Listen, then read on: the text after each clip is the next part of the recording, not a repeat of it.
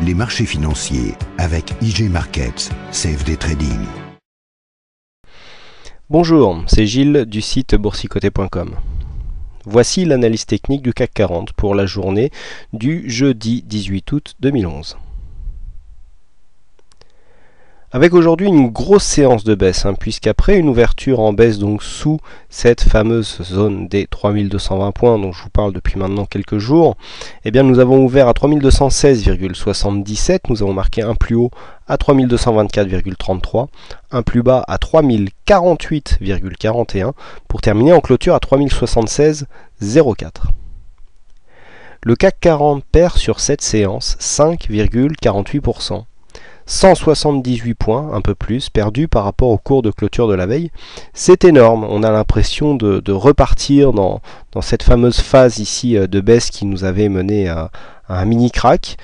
On se croyait sorti d'affaires, hein, je vous avais dit, euh, tant qu'on était dans la zone ici, 3200, 3260, on est à peu près dans une zone d'équilibre, eh bien cette zone a été cassée en force aujourd'hui, et donc nous voilà repartis dans une grosse séance de baisse. Au niveau des indicateurs, on a un RSI qui redescend mais qui n'est pas encore en zone de survente. On a un stochastique qui est en phase d'annuler ce fameux signal d'achat dont je vous dis depuis maintenant quelques jours qu'il est relativement faible et que au regard de cette phase de baisse ici, eh bien on aurait pu attendre un rebond plus dynamique avec donc un écart plus important entre le stochastique et sa ligne de signal. Au niveau du MACD, on a une fin de signal de rebond puisque l'histogramme que nous avons ici passe en évolution négative. Savoir que le rebond qui a fait suite à cette euh, phase baissière est interrompu dans sa dynamique. Alors je vous en avais parlé sur cette bougie puisque on avait une rupture de dynamique haussière puisque nous avions marqué un plus bas plus bas que le précédent et un plus haut plus bas que le précédent aussi. Même si on avait eu un petit rebond hier mais sans grande conviction avec un manque de volume et on avait vu qu'on n'avait pas réussi à garder en clôture la zone supérieure au euh, retracement de, de 38,2 à savoir les 3263,60 on était redescendu en dessous je vous avais dit que pour vraiment euh, confirmer une possible phase de hausse, il faudrait absolument clôturer au-dessus de cette séance. Et eh bien pas du tout, nous sommes repassés sous les 3220. On avait une zone euh, psychologique entre 3180, 3186 et, 3000, euh, et 3200. On a largement cassé cette zone et donc on est venu à marquer un plus bas, euh, beaucoup plus bas. Donc Là, ici, on ne peut pas vraiment encore parler de reprise de tendance baissière. Par contre, il y a un risque. Alors, je vous avais tracé une extension de Fibonacci, mais qui n'est plus bonne puisque le plus haut euh, se situait sur cette bougie-ci. Depuis, nous avons eu un plus, beau, donc nous, un plus haut. Pardon, donc, nous allons retracer cette extension. Alors pour tracer une extension de Fibonacci, il faut avoir un mouvement avec une consolidation qui reste sous les 38,2, à savoir les 38,2% euh, en retracement de Fibo. Donc dans ce cas-là, on, trace un retracement sur euh, la consolidation, donc ici le rebond technique, et euh, ces retracements nous donnent une extension, extension de Fibonacci. Donc pour la découvrir, il faut tout simplement eh bien, pardon, bouger le graphique, voilà, et nous avons une extension à 2645,3. L'extension, c'est les 161,8 en retracement de Fibonacci. Alors, comment jouer cet objectif? Cet objectif n'est valable que si nous cassons à la baisse les 2891,1. Vous étiez nombreux à me demander cette fameuse extension, cette fameuse valeur d'extension euh, sur le chat. Oui, mais cette valeur n'est valable que si l'on casse cette zone. À savoir que Là, on a un mouvement, on a une consolidation qui reste, enfin pardon, un rebond technique qui reste euh, donc cantonné au 38,2, donc mouvement très dynamique, mais avant d'avoir un mouvement très, dynamique, il faut le confirmer, à savoir qu'il faut avoir une cassure donc de 1891,1. Et en cas de cassure de cette zone, eh bien l'objectif serait l'extension de Fibonacci, donc les 161,8, à savoir 2645,3. Donc en cas de rechute, on pourra euh, garder et donc surveiller euh, cet objectif. Pour l'instant, nous n'en sommes pas là. Ce que nous pouvons marquer d'ailleurs, c'est que par rapport à la phase de hausse, la phase de baisse à laquelle nous venons d'assister, eh bien, est en train à marquer son plus bas entre le 50% et les 61,8. Je vais essayer de me rapprocher pour qu'on voit mieux. Voilà, on voit le 50% à 3043, le 50% à euh, pardon, le 61,8 à 3043, le 50% à 3090. Donc on a ici un plus bas qui se trouve entre ces zones-là. Euh, on n'a pas encore cassé le 61,8 qui pourrait nous faire retracer les 100%. On peut encore rebondir à la hausse sur cette zone. Hein. On est vraiment euh, sur le mouvement court terme, on est euh, assez tangent. Donc voilà ce qu'il faudra surveiller donc sur ces prochaines, ces prochaines journées, hein, ces prochaines séances. Alors là, de toute façon, on voit bien que maintenant la dynamique haussière est interrompue. On a une hausse des volumes qui vient euh, nous donner une séance dans la moyenne. Alors par rapport aux séances de baisse que nous avions dans la phase ici euh, de baisse très dynamique, on voit que nous avons des volumes moindres. Alors donc, on peut constater tout simplement que cette euh, bougie baissière n'est pas due à des ventes paniques, comme on peut le, voir partout, mais surtout par un manque d'acheteurs en face des vendeurs. Hein, puisque les vendeurs ici, euh, s'ils vendent euh, genre avec des ordres au prix du marché, hein, anciennement ordre à tout prix, s'il n'y a pas de vendeurs en face, eh ben, même si on n'a pas beaucoup de volume, on peut avoir des bougies très amples comme ça.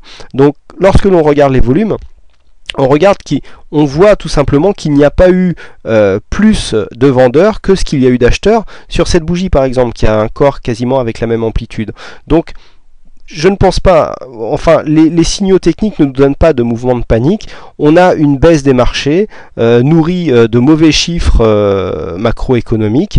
Voilà, ça nous donne une séance de baisse, mais on, personnellement, je, ne valide pas un mouvement de, vente panique euh, sur, cette, sur cette bougie, car on voit au niveau des volumes que finalement ils sont tout juste dans la moyenne hein, des, mouvements de vente panique. C'est un peu comme ce que nous avions eu ici sur cette bougie, avec euh, ben, deux fois plus de volume que ce que nous avons euh, aujourd'hui. Donc sur cette séance, eh bien, euh, j'espère que vous avez suivi les, conseils euh, que je vous avais donnés précédemment. Hein. Rappelez-vous, hier, j'avais attiré votre attention sur euh, la vidéo Forex sur laquelle était signalé ben, des signaux notamment sur l'or qui commençait à remonter alors que les marchés actions étaient stables. J'avais signalé, donc je signalais euh, des, possibles mouvements de couverture en, cas d'une baisse euh, à venir. Et eh bien c'est tout à fait ce qui s'est passé. Euh, je vous avais dit aussi que j'avais eu sur mes backtests un, signal de, de consolidation. ça c'était sur la bougie précédente. Donc voilà, faut faire attention. Hein. Les, ventes, on ne les fait pas une fois que la vente est commencée. On essaye de capter des plus hauts. Alors c'est assez difficile, hein, je vous l'accorde. Et donc, comme certains d'entre vous m'ont demandé, je vais vous faire voir un petit peu euh, les outils avec lesquels je travaille. Donc c'est du backtest, hein, c'est tout simple. On retrouve ici le CAC 40. c'est quasiment le même graphe que celui avec lequel je fais les, analyses.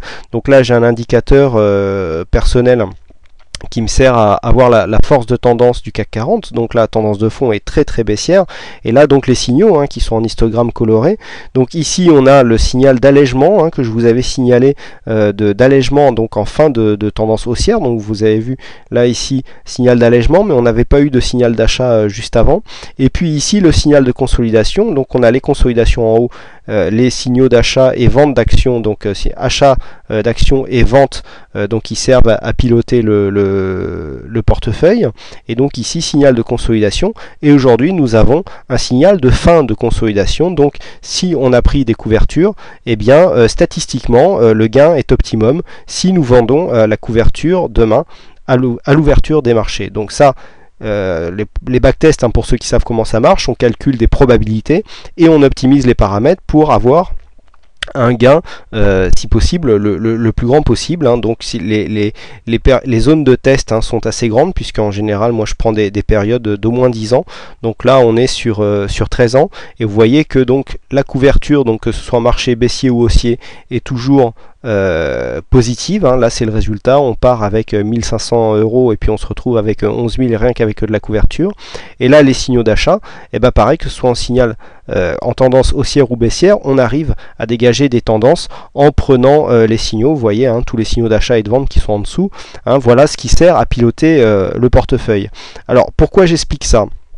Eh bien, tout simplement pour vous montrer que euh, au niveau euh, des, au niveau des, du, portefeuille, voilà. Aujourd'hui, qu'est-ce qui s'est passé? On a fait moins 0,14 par rapport à la baisse des marchés, c'est pas beaucoup. Tout simplement parce que on avait chargé euh, en, BX4, qui est donc l'outil de, de, couverture dont je me sers dans une optique PEA, hein, puisque je vous rappelle que ce, portefeuille est censé refléter le fonctionnement d'un PEA. Et donc on avait une grosse plus-value latente sur Hermès qui dépassait 20%. Donc là aujourd'hui elle a descendu à 16. Mais vous voyez que la couverture, même si on n'a qu'une demi-ligne, hein, puisque le, le, Lixor ETF, euh, le, le, BX4 a un levier approximatif de 2 en prenant une demi-ligne, eh bien on arrive à compenser euh, la baisse de, son, euh, de, sa ligne euh, haussière, hein, de sa ligne à l'achat, par une couverture. C'est-à-dire qu'on fait un transfert de, plus-value en fait entre son titre donc qu'on a à l'achat et ici la couverture qui est orientée à la baisse. On sait qu'Hermès surperforme les marchés en phase haussière, donc on savait qu'avec cette couverture, même si on était en phase haussière, Hermès allait monter plus haut, plus, plus vite que euh, la couverture et donc on pourrait gagner de l'argent quand même. Aujourd'hui, on a perdu un peu plus, mais voilà, sur une telle séance où on n'a rien fait finalement, puisqu'on a juste pris la couverture et on a regardé les marchés, on a fait moins 0,14 c'est quasiment rien. Ça permet de nous laisser sur un résultat positif. Hein. On, on, a bien rattrapé les pertes qu'on avait fait lors d'un premier, euh, premier réglage de portefeuille. Et donc ça nous permet d'être serein. Le trading est, le trading est une, euh, c'est difficile mentalement. Euh, donc il faut se trouver des outils pour, pour en fait aborder les marchés d'une manière sereine. Donc là, eh bien, le fait qu'il y ait une baisse ne nous fait pas plus peur que ça parce que nous sommes couverts au niveau de nos positions et donc ça nous évite de faire des grosses moins-values et on n'a pas à réfléchir est-ce qu'il faut vendre, acheter, tout ça. On laisse le portefeuille euh, dérouler et euh, en général ça se passe bien. Voilà donc euh, au niveau du portefeuille ce que, ce que je pouvais vous dire et donc de la gestion de la couverture. Et puis bah, dernière chose, sur cette séance, on avait un signal TurboCAC donc, qui s'est déclenché euh, hier soir, hein, donc qui a été posté sur le forum pour les abonnés. Et puis bah, on... donc c'est une chose rarissime, c'est la première fois que ça arrive depuis que j'utilise cette stratégie, c'est que le signal s'est dénoué en gain euh, dès la première journée. Donc plus de 130 points gagnés euh, sur une seule journée euh, sur un signal. Donc pour ceux qui ont acheté la méthode TurboCAC, hein, qui je le rappelle est en vente sur le site. Je pense que pour ceux qui l'ont acheté depuis un petit moment, le prix doit vous paraître dérisoire par rapport au gain qu'elle a pu, qu'elle a pu créer. Voilà donc ce que l'on peut dire euh, sur, cette, euh, sur cette séance. Donc bah, euh, félicitations à tous ceux qui ont suivi les signaux, bah, le signal TurboCAC. Ça a été très rapide mais très enrichissant. Et puis bah, aujourd'hui c'est Run Iceland qui a gagné le, au jeu du fixing, donc bravo à lui. Et puis beaucoup de monde, beaucoup de monde. On a battu des records d'audience hier, hein, des records historiques. On va en battre encore ce soir car on est encore en avance. Donc J'espère que c'est la qualité qui vous fait venir et j'espère surtout que vous resterez et que vous prendrez plaisir à, rester sur le site et à échanger avec les autres membres. Voilà, donc il ne me reste plus qu'à vous souhaiter à toutes et à tous une bonne soirée, bonne chance dans votre aide et je vous donne rendez-vous dès demain. Les marchés financiers avec IG Markets, CFD Trading.